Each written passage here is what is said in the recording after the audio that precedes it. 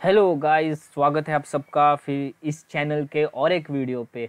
ये जो हमारी क्यूरियोसिटी रहती है ना, सारी चीज़ों को जानने की, ये कैसे काम करता है, ये कैसे होता है तो आज हम टर्बो चार्जर को लेके सारी क्यूरियोसिटी दूर करने वाले हैं। तो टर्बो चार्जर टर्बो चार्जर जो टर्बाइन यूज़ होता है, इसमें जो बहुत सारा चार्ज रहता है, जो बाहर से आपका एटमॉस्फियर एक एयर होता है, जिसमें ऑक्सीजन कार्बन बहुत सारी गैसेस का मिक्सचर वो बहुत ज़्यादा फोर्स से आपके इंजन के अंदर भेजता है। तो चलो डिटेल में देखते हैं कि टर्बो चार्जर क्या होता है। तो what is a turbo charger ये है हमारा पहला सवाल। तो a turbo charger is a turbine driven force induction device that increases an internal combustion engine efficiency and power output by forcing extra air into the combustion chamber तो ये force induction device मतलब forcefully जो air रहता है, उसको combustion chamber के अंदर भेजता है और उससे इंजन की एफिशिएंसी बढ़ती है और पावर इंजन जो पावर प्रोड्यूस करता है, वो बढ़ता है। तो अब इस टर्बो चार्जर में क्या क्या कंपोनेंट्स यूज़ होते हैं, वो हम देखेंगे। ये है पहले एक बेसिक बॉडी टर्बो चार्जर का, ये कुछ इस तरह से दिखता है। यहाँ पे हम देखें तो ये जो सेंटर पोर्शन है, यहाँ पे आपको टर्बाइन दिखेगा। यहाँ से एयर जो भी है, वो एक्चुअली इन्वर्ट जाता है और यहाँ से जो हॉट गैसेस रहती है, वो जाती है और एक तरह से आउटपुट मिलता है। फिर ये ये जो आप देख सकते हो, यहाँ पे ये जो येलो कलर के सर्कल्स है, वो सब ऑयल पोर्ट्स है उसके लुब्रिकेशन के लिए। इसके अंदर रोटेटिंग पार्ट्स रहते हैं बैरिंग्स रहती है, जिनको लुब्रिकेशन लगता है। तो ऑयल पोर्ट है यहाँ पे, ये एक ऑयल लाइन है। फिर ये जो है, ये टर्बाइन का है टर्बाइन साइड है इसका। इसमें दो साइड रहता है, एक साइड पे टर्बाइन रहती है और एक साइड इसका जहाँ पे एयर रहता है, जो मेन इंजन में जाता है। तो टर्बाइन साइड से जो एग्जॉस्ट गैसेस रहते हैं इंजन के, वो अंदर जाते हैं। सो ये पूरा आपका टर्बाइन साइड है और यहाँ से जो एटमोस्फेरिक एयर है, वो कंप्रेस होता है। वो ये जो ब्लेड्स आपको यहाँ पे दिख रहे हैं, ये ब्लेड्स का काम है जो एटमॉस्फेरिक एयर है, उसको अंदर लेना और उसको कंप्रेस करके इंजन में डालना इंजन का जो इनलेट पोर्ट है वहाँ पे डालना। फिर अब हम देखेंगे इसमें वर्किंग रहता है, एक उसका केस रहता है, एक टर्बाइन साइड रहता है, एक रहता है जहाँ से एयर बाहर एटमॉस्फेरिक एयर आके कंप्रेस करके हम इंजन में भेजते हैं।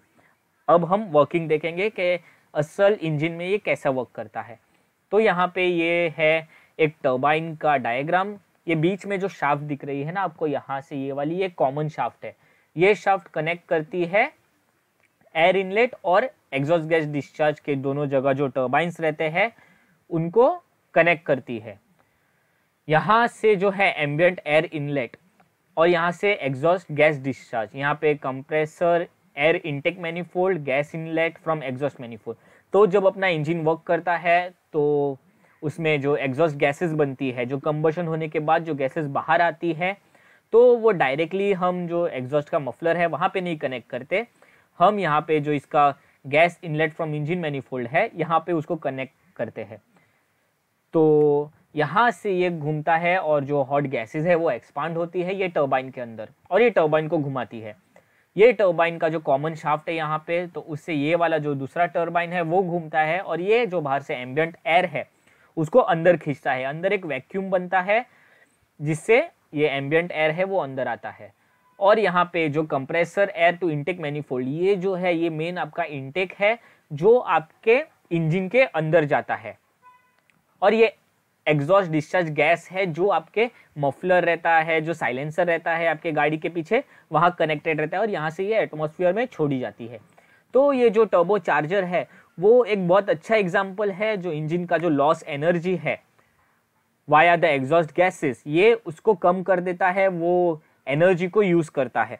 अब ये कंप्रेसर में हमें बहुत बार इंटरकूलर लगता है, क्योंकि जब जो बाहर से एयर हम लेते हैं उसको कंप्रेस करते हैं तो वो बहुत हीट होती है। तो वो हीट को कम रिड्यूस करना पड़ता है। तो उसके लिए हम एक इंटरकूलर लगाते हैं। तो ये पूरा जो सिस्टम है इसमें इंटरकूलर भी लगाया हुआ है। तो यहाँ से एयर फ्लो सेंसर है, जो कंप्रेसर से आता है, और वाया इंटरकूलर जो एयर है, वो थोड़ी कूल हो जाती है। एयर जब कूल होती है, तब उसकी डेंसिटी बढ़ जाती है। इसके वजह से जो कंबशन है, वो बहुत अच्छा मिलता है ऑक्सीजन बहुत ज़्यादा मिलता है एयर हमें डेंस एयर मिलती है, जिससे पावर में फ़र्क गिरता है, ज़्यादा वॉल्यूमेट्रिक एफिशिएंसी मिलती है यहाँ से। फिर ये यहाँ से जाके टर्बाइन को घुमाता है और फिर कैटेलिटिक कन्वर्टर से मफलर को।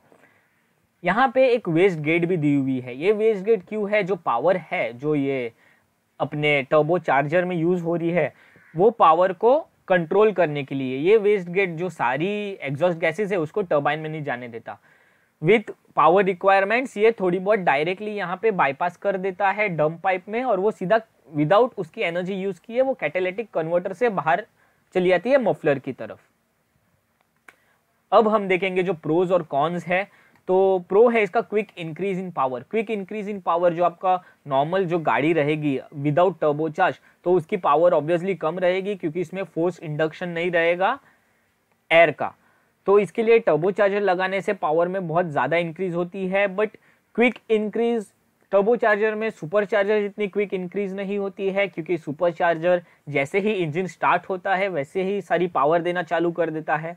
बट यहाँ टर्बो चार्जर पे इंजन स्टार्ट होता है, जब हॉट गैसेस बनने लगती है, वो बाहर आती है इंजन आउटलेट से, फिर टर्बो चार्ज रोटेट होता है, फिर वो एक पर्टिकुलर स्पीड पे रोटेट होता है और तब जाके वो एक पर्टिकुलर अमाउंट ऑफ़ एयर है, उसको कंप्रेस करता है, जिससे हमें, हमारी पावर बढ़ेगी। फिर इजी टू ट्यून इसकी ट्यूनिंग बहुत ज़्यादा इजी रहती है सुपर चार्जर से, क्योंकि सुपर चार्जर थोड़ा कॉम्प्लिकेटेड है, उसके अंदर पार्ट ज़्यादा है, उसको इंजन से कनेक्ट करना पड़ता है। तो इसके लिए टर्बो चार्जर को खाली हमें जो इंजन का इनलेट है और आउटलेट है, उससे कनेक्ट करना पड़ता है। फिर इंक्रीज वॉल्यूमेट्रिक एफिशिएंसी दोनों से टर्बो और सुपर चार्जर दोनों से वॉल्यूमेट्रिक एफिशिएंसी बढ़ जाती है बिना टर्बो चार्ज या बिना सुपर चार्ज इंजन से, जो क्योंकि इसमें बहुत डेंस एयर आ रहा है, उस हिसाब से हम फ्यूल भी भेज रहे हैं। Better miles per gallon better miles per gallon ये है, इसको हमने with respect to super charger रखा है। सुपर चार्जर में माइल्स पर गैलन कम मिलते हैं, क्योंकि उसमें पावर भी ज़्यादा बढ़ती है टर्बो चार्जर से। तो better M P G that is miles per gallon कितने माइल्स आपकी ये जा रही है? कितने माइल्स आपकी गाड़ी चल रही है? विदाउट ये एक पर्टिकुलर गैलन के, एक गैलन एयर पे कितने माइल्स आपकी गाड़ी आगे जा रही है?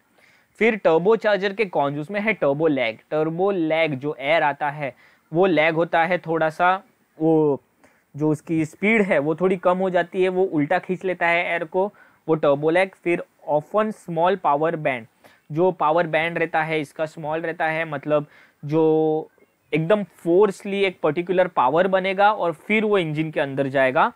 वैसा रहता है टर्बो चार्जर में। सुपर चार्जर के अंदर जो पावर बैंड रहता है, वो जो पावर वो क्रिएट करता है, वो ज़्यादा रहती है।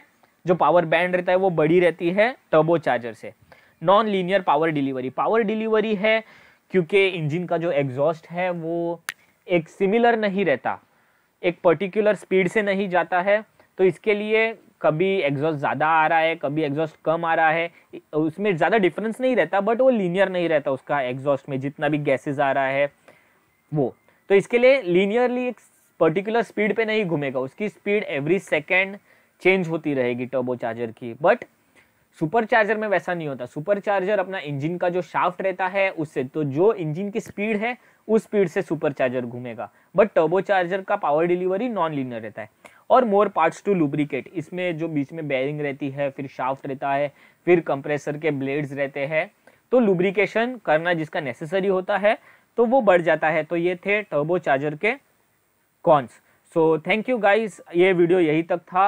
आपको अगर अच्छा लगा मेरा कंटेंट मेरा वीडियो तो प्लीज़ चैनल को सब्सक्राइब कीजिए और बेल आइकन को ज़रूर दबाइए। Thank you